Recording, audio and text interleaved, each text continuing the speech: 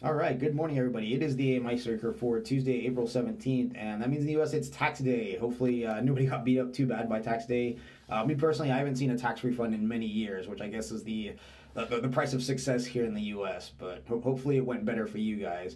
Uh, but anyway, on to, on to more pleasant things. Um, I've got some spots in my everyday breathwork webinar still available that I've been talking about. And, uh, you know, it's going to be a really short webinar, so it's not going to be a huge time investment on anybody's part. I know that's one of the questions I had a little while ago, but it's only going to be about a half an hour. We're not going to go super deep into, like, you know, the anatomy and physiology of breathing. Basically, we're just going to talk a little bit about kind of how, what, what we use breathwork for and how it, how it can fit into your day.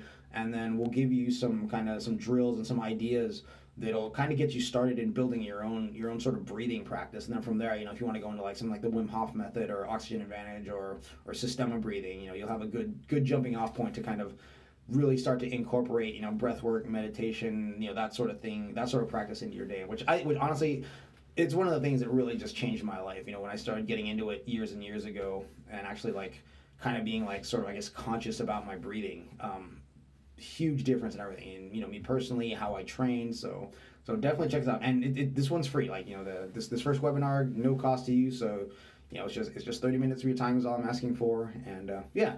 Come, come join us for that. That'll be fun. Like I said, leave a comment either wherever you're watching this video. Just leave a comment or DM me, and I'll add you to the group. That's gonna happen here in a couple weeks. Uh, Viking Ninja Martial Arts Training, June 16th, Boise, Idaho. The link for that will also be in the comments. Uh, again, we'd love to see some folks there and I, I, think we've got a good thing going. I, you know, I really do. I'm very excited about this uh, this kind of idea of, of um, I call it martial. You know, you know, we say non-traditional martial arts. I call it martial arts for wellness is the term that I've been hearing. Kind of people sort of outside this, you know, Viking Ninja use, which I really like, because that, that really does kind of like that really does crystallize to me what we're trying to do. Is you know we're trying to take these kind of these skilled sort of movements from martial arts and relate them back to sort of more basic training. So so now what you've got is you've got this whole system where you know you get some some some foundational training, movement and resistance training, you know, with with the tools like maces and clubs and, and your body weight, and then you move to kind of more of a skilled kind of play type practice. And that's what I'm really excited. That's what I'm really excited to be teaching people um, Filipino martial arts in this context is because that you know that play aspect I think is so important. So you know in if you know anything about Filipino martial arts, we do we do a lot of live what we call live drills. So it's not just a series of movements; it's a series of movements that, but you have to kind of pay attention to what you're what you know what the person you're working with is doing.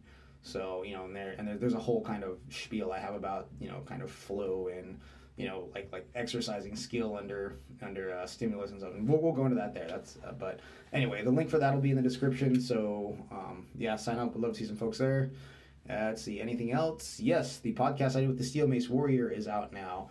Uh, I'll have a link to that, and uh, go give that a listen if you uh, if it generates any questions for you. Hit me up. You know, we'll talk about them at some point. And um, yeah, that's all the housekeeping. So speaking of questions, let's go ahead and dive right in. I got a DM on Instagram from somebody. This is from our, our buddy Jeremy, and he says, "Hey coach, I started following you after seeing a video on the Onnit Academy Instagram of you. Like what you do, and would love to know how to get started in unconventional training. Thanks."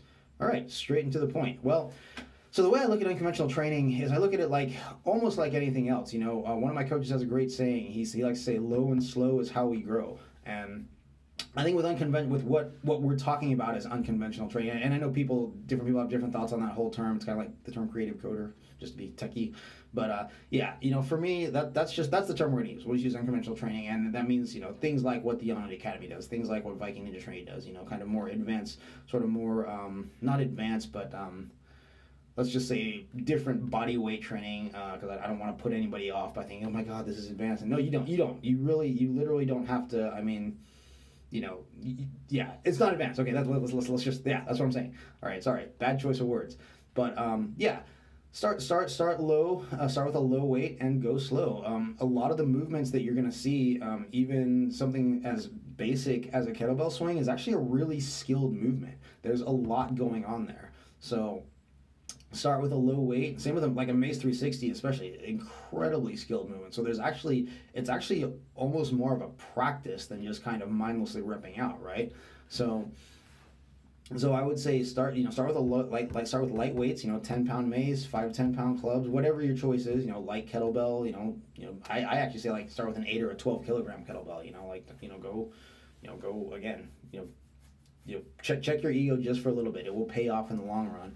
And secondly, you know, get if you can, if you have access to a coach, get you know go. Even if it just means going to a seminar, going to a workshop, get get really coached up on this stuff because.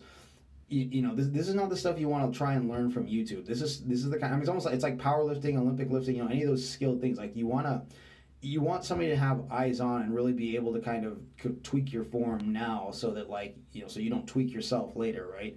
So so that, that's kind of the short answer man. Low slow that's how you grow and, and get a coach you know and, and even like i said there are some good there's some decent video programs out there. You know one of the ones i would recommend for unconventional training um, actually there's a couple. So there's the warrior evolution program. I'll have a link to that in the description. That's uh, three of the three of the coaches from Onnit Academy so it's pretty good there's uh, the kettlebell difference, which is uh, Marcus Martinez's uh, kettlebell. He, he's also a, a coach. At, he's another co- he's a coach at the Onnit Academy, and he also did the kettlebell chunk for Warrior Evolution and um, uh, Viking Ninja Training. Come to one of our workshops. Uh, let's see, is there another good program I would recommend?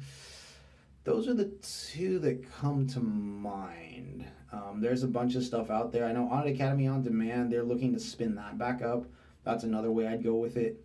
Um, and like I said, I'll, I'll post links to all this stuff in the description. But uh, yeah, that's what I got. Thanks. Cheers.